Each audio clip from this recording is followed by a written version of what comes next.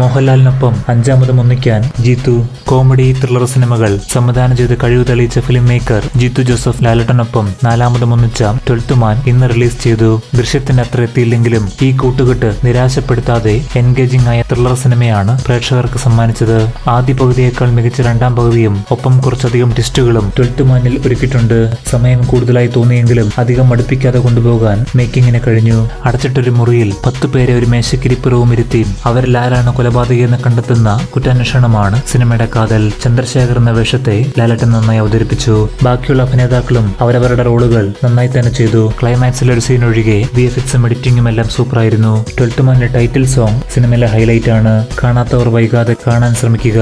ജീത്തു ലാലട്ടനൊപ്പം നാലാമതും ഒരുമിച്ചെങ്കിലും റാം എന്ന സിനിമയുടെ ഷൂട്ടിംഗ് ഇതുവരെ പൂർത്തിയായിട്ടില്ല. ജൂൺ അവസാനം അല്ലെങ്കിൽ ജൂലൈ ആദ്യം റാമിന്റെ സെക്കൻഡ് ഷെഡ്യൂൾ യു കെയിൽ ആരംഭിക്കും. മോഹൻലാൽ സുമൻ ഇന്ദ്രജിത്ത് തൃഷ എന്നിവരാണ് യു കെ ഷെഡ്യൂളിൽ പങ്കെടുക്കുന്ന താരങ്ങൾ ധാരാളം വിദേശ താരങ്ങളും പങ്കുചേരും. ലണ്ടന് പുറമെ സ്കോട്ട്ലാൻഡിലും ലൊക്കേഷൻ തേടുന്നുണ്ട്. അറുപത് ദിവസത്തെ ഷൂട്ടിംഗ് ആണ് യു കെയിൽ അവശേഷിക്കുന്നത്. എറണാകുളം രാമേശ്വരം ഡൽഹി സിംല എന്നീ സ്ഥലങ്ങളിലുള്ള ഷൂട്ടിംഗ് രണ്ടായിരത്തി ഇരുപതിൽ പൂർത്തിയാക്കിയിരുന്നു. ട്വൽത്ത് മാൻ വിശേഷങ്ങൾ പങ്കുവെക്കവേ ലാലട്ടനൊപ്പം അഞ്ചാമതും ഒന്നിക്കുന്നു എന്ന് വെളിപ്പെടുത്തിയിരിക്കുകയാണ് സംവിധായകൻ. കഥ താരത്തിന് ഇഷ്ടപ്പെട്ടെന്നും ആശീർവാദ സിനിമാസിന്റെ ബാനറിൽ ആന്റണി പെരുമ്പാവൂരാണ് നിർമ്മാണമെന്നും ജീത്തു വെളിപ്പെടുത്തി.